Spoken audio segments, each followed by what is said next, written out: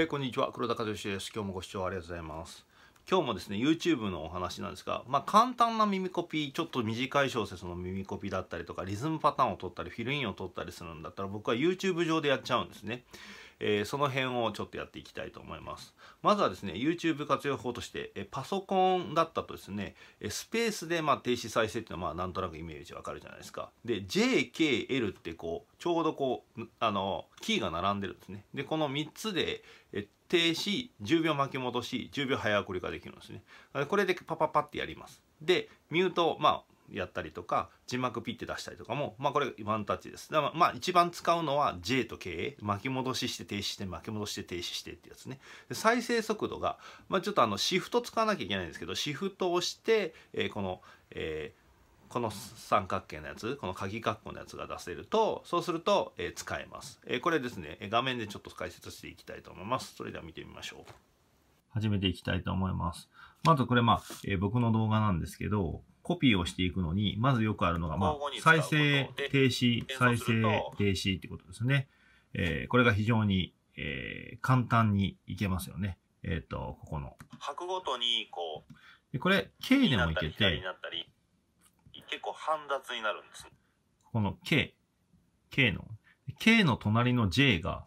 これ10秒待ち落としなんですよ。なので、ウルタネート、えー、手順を覚えておいて損はないです。で、逆にこの K の次の隣の L が10秒送りなんで、右左になったり、そうすると、この3つの指をやるだけで、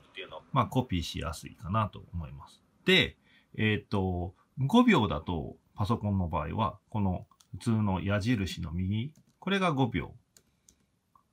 5秒負けのね、5秒になってるでしょ。で、こっちが10秒です。KLM ね、L。で、これで。は、ウルタネで、ジャズでは、右左右左と左右。ね、やるだけで。で、テンポをゆっくりにしたいときはですね、えー、シフトの、えー、この、この三角形マークね、この矢印マークこのカッコ、鍵カッコなのかな？これの右側、こっちになるので、シフトをしながらじゃなきゃいけないですが、再生してて、こうやってやると、スピードをどんどん変えていけます。ルタネート、えー、手順を右左右左と最後交互に使うことで演奏すると、拍ごとに、こう、右この辺でやってて、あ、ちょっとコピーするのに、ゆっくりがいいなと思うと、まあ、こういうふうにゆっくり、音まで再生されて、で、ちょっと戻しつつ、で、ちょっと戻しながら。切り替えて演奏してみます。O ミと B をっていうのが非常に便利ですね。で、えー、まあ、音のミュートがあるんですけど、普通に喋ってて、まあ、ちょっと急に喋りかけられたりとか、音のミュートを使えたりとかできるのと、あとはですね、えっと、字幕ですね。字幕が僕は作って、これ作ってあるやつなんで、字幕をこう OK にすると、こう、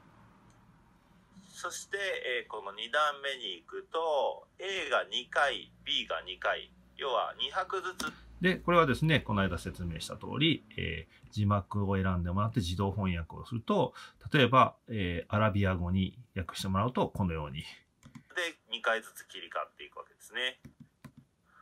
で最後の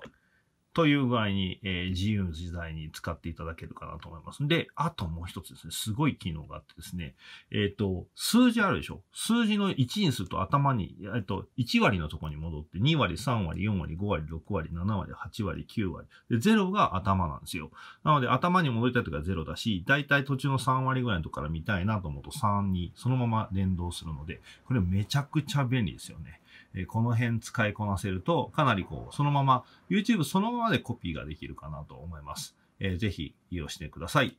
はい、それではですね、iPhone の方ですね、iPhone は YouTube アプリを使わなきゃいけないんですけど、画面の左端の画面をですね、ピピってダブルタップするとですね、時間巻き戻し、設定した時間の巻き戻しができるんですこれ右端だと早送りになるんですね。設定はホーム画面の自分のアイコンの設定からダブルタップで移動で設定ですね。この辺ちょっと見ていきますんで、で再生速度の、えーまあ、変えるっていうのは、えまあ、こう再生してる時の右上のこう縦の点3つですね縦の点3つのところを押すと再生速度って出てきますのでそこで変えることができますまあ字幕なんかもそこで出せますんで、えやっていきたいと思いますはい、それではですね、多分スマホ全体的に言えると思いますが、YouTube のこのアプリを入手してもらうと、この YouTube で見るやつですね。でこの辺ちょっと見てみると、こういうやつですね。で、最初に、えー、こう、再生してるとですね、頑張って練習しましょう。で戻りたいときは、この、こっち側をダブルタップすると、これ今5秒に設定してあるんですが、こういうふうに5秒早送りします。巻き戻しします。こうすると早送りになります。で、真ん中でこう停止するのね。で、えっ、と、再生速度っていうのはこの間も言った通り、ここの、ここの部分で再生速度してもらうと0.75で。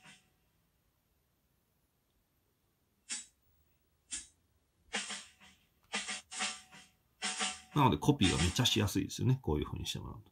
で、この5秒っていうのを変えるにはですね、まずですね、えっ、と、全体を見ていただいて、で、ここの自分のホーム画面に来てもらうと、自分のアイコンがあるんで、ここの設定。で、そうすると、ここから、えーここのですね、ダブルタップで移動。ここを5秒にしてあるのを、これを15秒とか10秒とか、えー自分がよく使う。まあ5秒がコピーとかだったら5秒とか10秒がいいんじゃないかなと思うんですけど、60秒とかで、えー設定することができます。なので、え非常に使いやすいと思うので、ぜひこの機能は使っていただければと思います。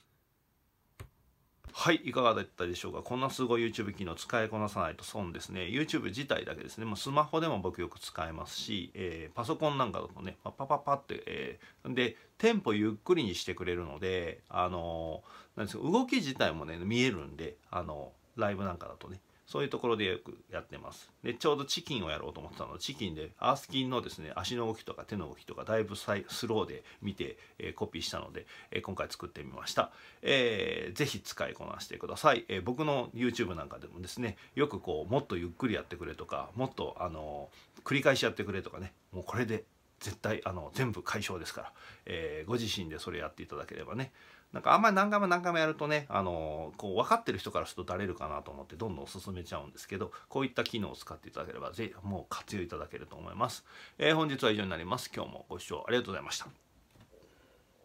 今日も最後までご視聴ありがとうございました。今日の動画があなたにとって面白いなとかためになったなと思われる方は、いいねボタンを押してください。チャンネル登録の方もよろしくお願いします。私のメールマガジンがありますので、詳細の欄から URL がありますから、そちらで紹介ページの方でぜひメールマガジンのご検討ください。毎日僕からメールが届きます。ジャズドラムのこととか、ジャズの歴史のこととか、心理学のことについて毎日動画とその解説をお送りしますので、よろしくお願いします。3大特典もついておりますので、ぜひご検討ください。それでは今日は最後までご視聴ありがとうございました。黒田和義チャンネルでした。